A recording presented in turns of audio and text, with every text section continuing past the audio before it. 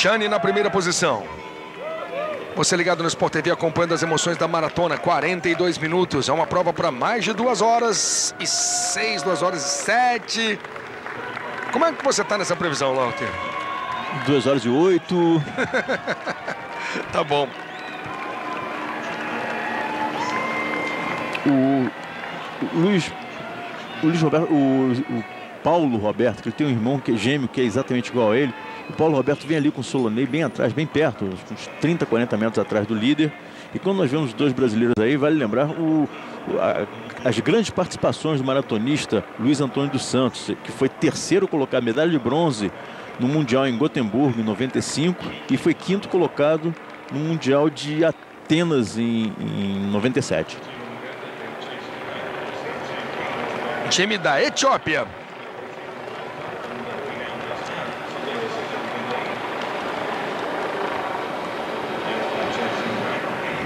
É o grupo que vem atrás.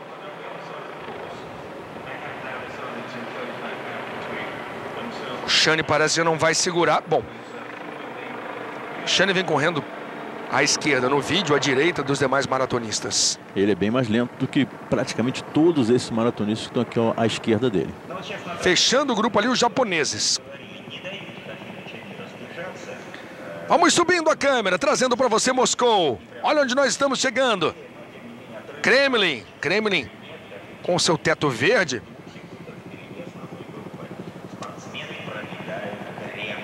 Já passamos pela Catedral do Cristo Salvador.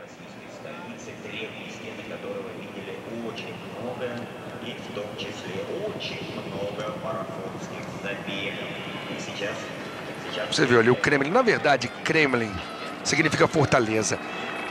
Todas as grandes cidades medievais, as cidades que hoje compõem a Rússia, que fizeram parte da União Soviética, tinham seus Kremlins, que são suas fortalezas, eram cidades medievais e o poder ficava dentro desses muros altos. Só que para nós, Kremlin acabou ficando o Kremlin de Moscou acabou se tornando sinônimo de Kremlin. Mas Kremlin, a princípio, nós tínhamos vários Kremlins. Esse é o Kremlin de Moscou, a fortaleza de Moscou, dentro daqueles muros vermelhos. Eles vão passando ao lado do muro. 45 minutos de maratona. Praça Vermelha foi construída ainda na era medieval. Kremlin foi a casa dos czares no período imperial e também dos chefes de Estado da União Soviética.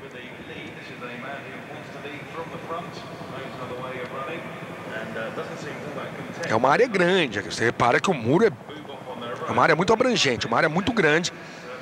Era uma fortaleza medieval. 45 minutos de maratona, percorrendo mais uma vez a lateral do Rio Moscou. E mais uma vez eu cito fato. Para o Brasil é muito difícil, é muito raro você ter uma competição em Moscou com esse sol, com essa temperatura. É verão em Moscou. Acho que até pro Moscovita, né? Talvez, estão curtindo um monte, né? É um barato isso para eles. Lauteria, em relação, a gente já falou dos bonés japoneses. Qual é a vantagem de se cobrir a nuca? É, eles, é, para eles é importante, existe um bulbo da temperatura que fica colocado é, bem na nuca, né, na, abaixo do, do, do, do cerebelo aqui, e eles acham, e com alguma razão, que protegendo da incidência dos raios de sol naquele ponto, diminui a sensação, de calor e a perda de água no organismo. Linda imagem dos atletas percorrendo ali os muros da Praça Vermelha. Os soldados daquela famosa legião estrangeira é, também usavam para se proteger, para andar no deserto. Que ali imagem! A Catedral de São Basílio, com suas cúpulas coloridas, ela foi erguida no mandato a pedido de Ivan o Terrível. E há uma história muito curiosa, uma história trágica até a respeito dessa catedral. Ela foi erguida porque Ivan conseguiu invadir o cantão de Kazan, conseguiu dominar o cantão de Kazan. E ele resolveu, em função dessa conquista, que ele jogou muito importante, mandar construir a Catedral de São Basílio, que tem um desenho realmente peculiar e único. E ele gostou tanto e não é à toa que ele é Ivan o Terrível. Ele gostou tanto do desenho o resultado da arquitetura da catedral, que ele mandou arrancar os olhos do arquiteto para que ele jamais construísse algo parecido. É fato, Lauter. Tá aí. Realmente ele é única, arquitetura única da Catedral de São Basílio. Cotovelo percorrido. Obra de Ivan, o Terrível. Contrato de exclusividade talvez fosse mais dócil. o Ivan era completamente bipolar. Nos dias de hoje seria simplesmente maluco. Essa é a maratona de Moscou. Shani, Kiprop, Tola, Tsegai, Tsegai. Tsegai de Etiópia, Tsegai da Eritreia. Kebed, Nakamoto, Desiga, Queixo, os nove primeiros. Kiprotic, na décima posição. Kawashi, décimo primeiro.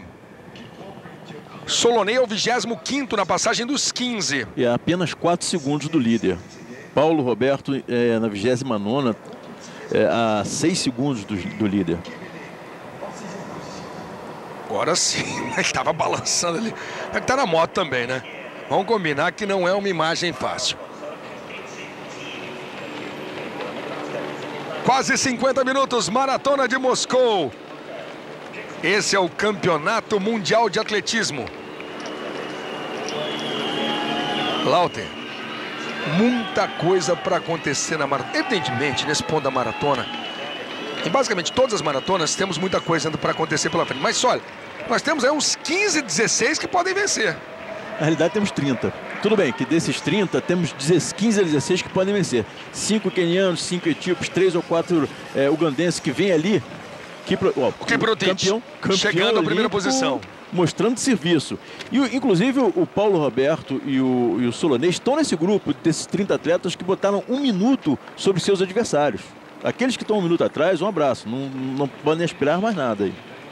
O que a gente pode esperar dessa maratona, e não chegamos nem à metade ainda, eventualmente podemos ter aquele final empolgante de seis ou sete brigando pelo pódio nos metros finais, ou pelo menos nos dois quilômetros finais. Está se configurando isso, que já aconteceram é, duelos sensacionais até quase a linha de chegada em campeonatos mundiais. A prudência do ciclista, todo equipado ali de capacete.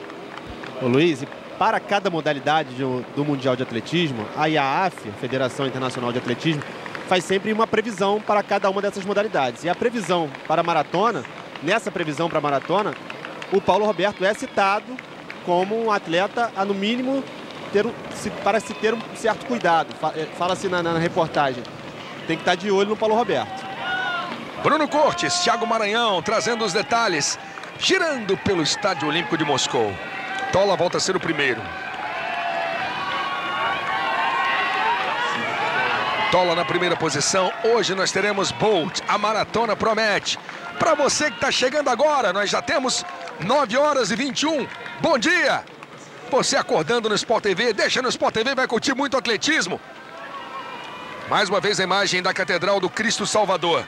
Hoje temos a maratona, salto em altura, 100 metros com barreiras.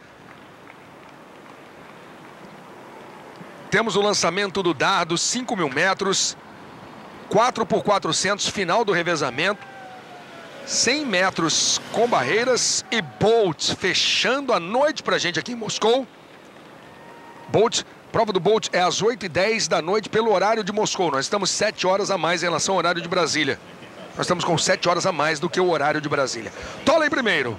Luiz, nessa prova que vai acontecer meio dia e meia no horário de Brasília, do revezamento 4x400 para mulheres, tivemos uma desclassificação da equipe da Jamaica. A equipe da Jamaica que conseguiu o segundo melhor tempo. Está mostrando a, a imagem. Nesse momento que a atleta pisou e muito fora da faixa dela, por isso o time da Jamaica foi desclassificado. Seria o segundo melhor tempo das eliminatórias. A Jamaica, que era provavelmente a única seleção com condições de acabar com a hegemonia das americanas. Os Estados Unidos tentam hoje o quarto título mundial consecutivo e não serão mais ameaçados pelas jamaicanas. Um tremendo vacilo, né? Vamos combinar que ela estava correndo sozinha na curva, saiu da raia. Se essa é, é, é, invasão à raia lateral, a raia vizinha, fosse na reta, não haveria problema nenhum. O problema maior é que ela ganhou centímetros ali, ela fez uma tangente fora das regras. teoricamente, fazendo essa tangente, ela ganha algum tempo. Sim, com certeza. É até Ela diminui. É, é o que Diminuindo a acontece, por exemplo, no balizamento de uma prova de 400 metros, por que todos os atletas não largam lado a lado? Por conta do balizamento das raias, quase 4 metros de diferença. Você corre na raia 1 e o outro corre na raia 2, volta inteira, sem essa, é, essa esse handicap, dando essa, essa, Essa margem, correção. essa correção, é, o atleta vai correr, o da raia 2 vai correr quase 4 metros a mais do que o atleta da raia 1. Imagina da raia 8. Um show de transmissões do Sport TV. O Thiago falando da eliminação da Jamaica, você vendo a imagem. Hoje nós temos, você viu toda a programação, nós temos Bolt. Esse é o grupo que vem liderando a maratona. Quênia, Quênia, Etiópia, Etiópia, Uganda, Eritreia, Japão e Brasil e Brasil. Mais uma vez, à direita no vídeo, o monumento a Pedro o Grande.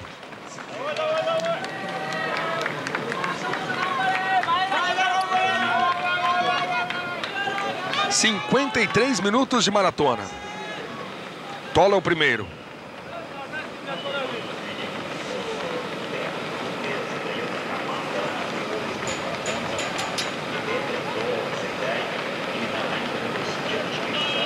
Que é bem interessante, uma prova de 42 quilômetros. Os ciclistas estão fazendo a sua pedalada matinal ali num ritmo bom. Um bom percurso, né?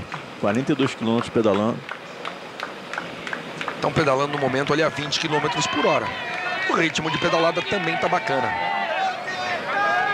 Quase 54 minutos de maratona. Tola em primeiro. Tem Brasil ali no bolo.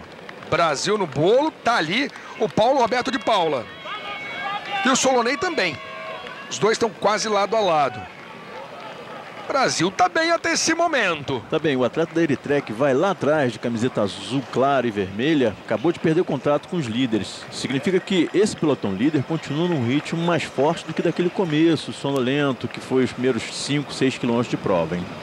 Vale lembrar, né, Luiz, o que fez o Brasil nos Jogos Olímpicos de Londres, com os três competidores brasileiros terminando entre os 15 primeiros, né? O, Maurício, o Ma- o Marilson, Marilson dos Santos, bicampeão em Nova York, Paulo Roberto de Paula e Frank Caldeira. Essa é a maratona do Campeonato Mundial.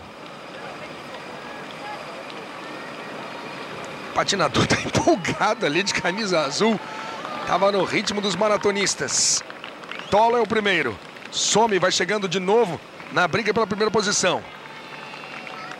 A gente sempre fala, você já destacou algumas vezes, Luiz, sobre essa febre de patinação que tem na Rússia, até porque o hóquei é um dos dois esportes mais populares, né? Divide as atenções junto com o futebol. Bom, evidentemente com...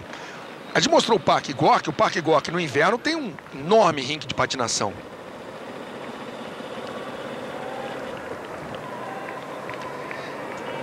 ...55 minutos de maratona. Você ligado no Sport TV, acompanhando o penúltimo dia de competições. Hoje tem Bolt. Por volta de meio-dia no horário de Brasília. O próprio Estádio Olímpico de Moscou já foi palco de uma final de Copa do Mundo de hóquei no gelo entre Rússia e Suécia, isso em 1957, e tinham 55 mil torcedores aqui dentro. Tola, Kiprop, Kiplimo, Some, são os atletas Segai.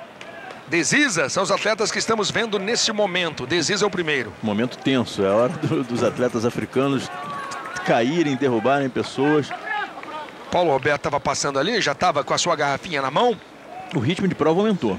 Nos últimos dois quilômetros vem aumentando sistematicamente. Kiplimo de Uganda.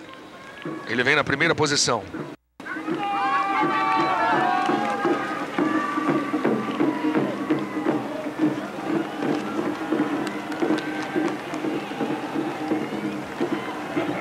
Kiplimo tem 2, 13 e 32 no ano. 2 horas, 13 minutos e 32, que é a melhor marca da carreira dele.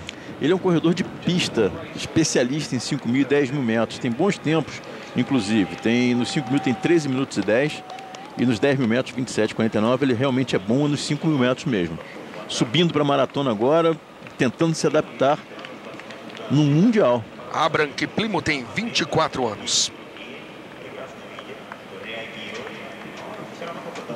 Foi o 11 colocado em Roterdã esse ano na maratona. É apenas uma maratona na carreira. É uma maratona rápida, é daquelas de abril. Você encontra Paris, Londres, Roterdã.